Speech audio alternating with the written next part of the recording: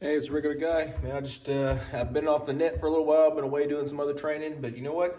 I was off today and I went out to my friend Jerry's place and was training and I was actually testing out uh, a new plate carrier that I got. Some of y'all may be familiar with the, uh, the MEPC Mission Essential Plate Carrier. Uh, I'll put a link to it on the bottom, but uh, this is not going to be a review about, uh, you know, what kind of uh, threads they use and, you know, what's the tensillary strength and all that. It's just uh, my overall impression of it. So I'm going to try to keep it pretty quick. Uh, overall impression, I'm going to say I like it. Um, biggest reason is it's comfortable. It's easy to put on, which I like. This is my first time using the uh, Cummerbund system. I mean, some of y'all out there may have had it. I mean, it has a pretty easy connection. It's a, it's almost like a little Z that just goes in here and it locks in. And I mean, I am gonna have to loosen up my cummerbunds a little bit because I got them a little bit, uh, a little bit too tight when I had a bunch of magazines in them out there training. Uh, I'll tell you what, just take, take a look at the video.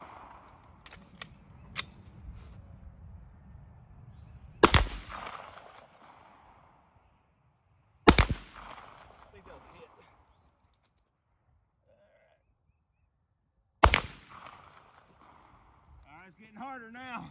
Oh yeah. Hit.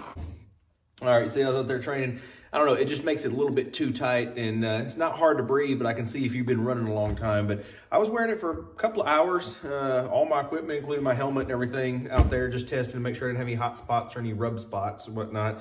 Uh, biggest thing right off is it's super comfortable. So I do like that. The cummerbund system holds it tight to my body because the other plate carrier I had just had some steel plates in it, and uh, I'll have a review on the, the, different plates I have in here now.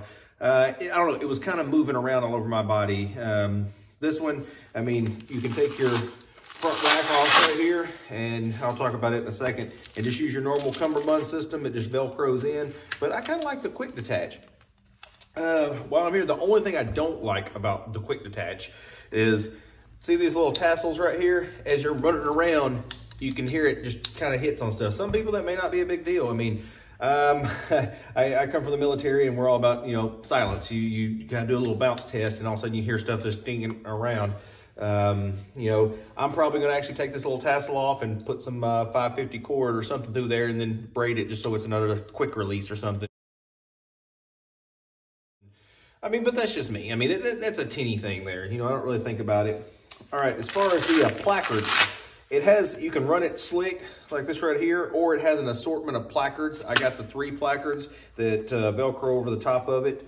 And I have the ones on the, uh, the short. They have like a long and a short. If you have long, it's either gonna be sitting down here or these clips actually are very intuitive. You can work them further up and down I like mine right where it comes from. Uh, actually, I might have moved them one slot difference. I don't know, but the, you just kind of work them out and redo it. But this is where I like my magazines hanging. Um, I got two mags up front and I uh, just got a radio in here. I may put it somewhere else. I was just testing it today to see if I like it right there.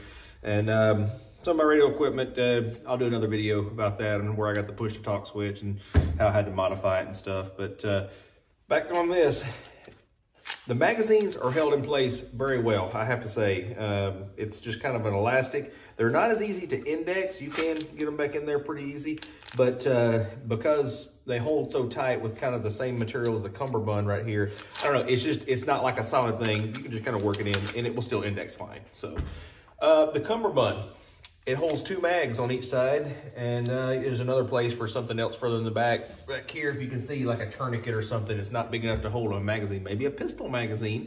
Um, I thought about trying to put a radio in it. I've heard some people have done that, but I don't know.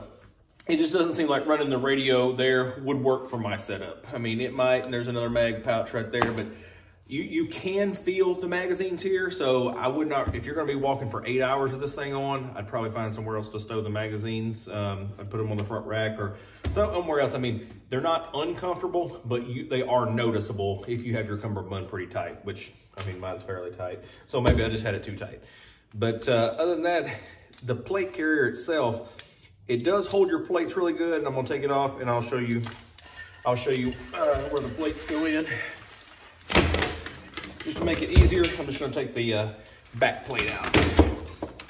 All right, so I just took it off. I'm gonna show you how easy it is to get it off. Start off here at the bottom.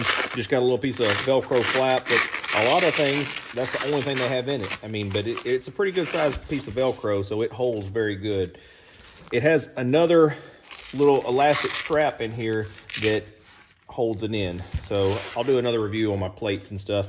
But uh, this pocket, it seems like it will hold multiple size plates, including like the uh, uh, 10 by 12, which is what that is, and that's the shooter cut. But there's no real bag or anything in here for it. It kind of just sits in there, but this other strap right here goes around it and then hooks to the bottom. So you can kind of tighten it up as what you want. I mean, it seems like there'd be an even better design out there for this kind of thing, but I mean, to be honest, this one held it pretty good, and I was laying around, bouncing around over there.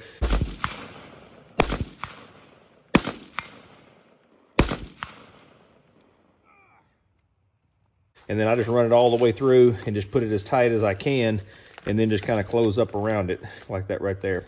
So then it sticks to where it's supposed to. trying to keep it in the camera, you can see it. Then your flap goes under, and I bring it up pretty tight. I mean, it's not going anywhere. There's really no, no room for it to go anywhere. All right, now that we got that closed back up in there, um, if you look, I'll move my cummerbund out of the way. This mesh material, forgive me for not knowing the technical term of what this kind is.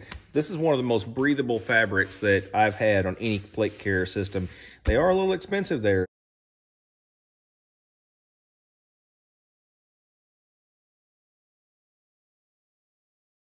Defense mechanism. They make this uh, mission essential plate carrier, but it did take like two months to get it in.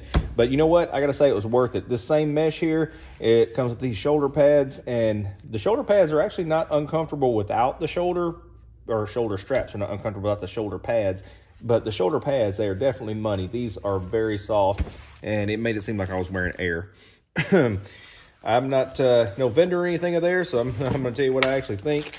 Um, You've got some other webbing up front here that will hold another, uh, you can put your Velcro patches on there. You can put, you know, some kind of placard or whatever one on there, some kind of other magazine pouch. To me, I don't, I don't need anything up there right now. Um, you get some kind of admin pouch right here. I mean, I got nothing in mine, as you see, but I mean, look, I can fit almost my whole hand in there, so that just shows you what will fit in there. Maybe fit a trauma pad or something in there, I don't know. But uh, there's several other things. You have Velcro on the front of these uh, placards. All this stuff is a la carte, I have to say. You have to buy the plate carrier. You have to buy the cummerbunds because there's different sizes and different kinds. You have to buy your placard that you're going to wear, and there's a couple of different things on that. But you also have other things you can put on the front that go with it. So there's this kind of, uh, basically that's the best way to say it, a la carte, and you pick what you want. So here, I'm gonna remove the camera and we'll get back to my uh, recap on it. Mission Essential Plate Carrier overall assessment, I'm gonna say it's a go.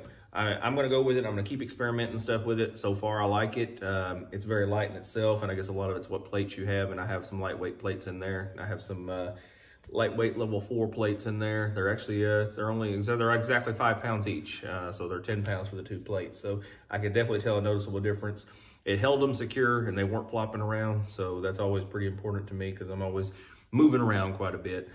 Uh, I do like their placard setup. I was unsure about the cummerbund when I got it because I've never run that type style of cummerbund. Uh, it holds magazines. They were not the most comfortable, but they were not like uncomfortable. Like, oh, I'm not putting any magazines in here. Uh, I think I just had my cummerbund a little bit too tight, and I think I'm gonna loosen the cummerbund a little bit, and that should take care of that. The other thing um, I didn't that I did not like was these little tassels that hang right here on your cummerbund system. Uh, they just, as you can hear, I don't know if you can hear it in the camera or not, they just knock around and you just keep hearing a constant ting, ting, ting, ting. I mean, may not bother you, may bother me a little bit. Um, shoulder pads, very comfortable. Uh, you got a lot of MOLLE webbing and stuff. You can order the slick back or the webbing on the back. I'm like, hey, I might put something on there, so why box myself into a slick? It does have the drag handle and everything on there. So overall, I like this setup. I like that it's modular, that you can order it a la carte and basically tailor it to you. So the cons on it are kind of expensive. Uh, it does take a while to get it in. It takes like eight weeks to make it because you pick your color and what you want on it and every size cummerbund and everything else, what kind of placard you want with it. Uh, so that does take a while. Uh, but as far as, you know what, let's go with the pros. Uh, the pros are very comfortable, very lightweight, and it feels like it's meant to last. So I don't know. I know there's a quick assessment, but you know what? I just got back in from, uh, I was testing out some stuff and I thought, hey, while I'm getting my equipment out of the car, let me make a quick video. So I hope that was helpful for you. And you know what? Like, comment, subscribe. If you like it, click the like. If you don't like it, click the don't like twice and uh, share with your friends. That's a regular guy's opinion.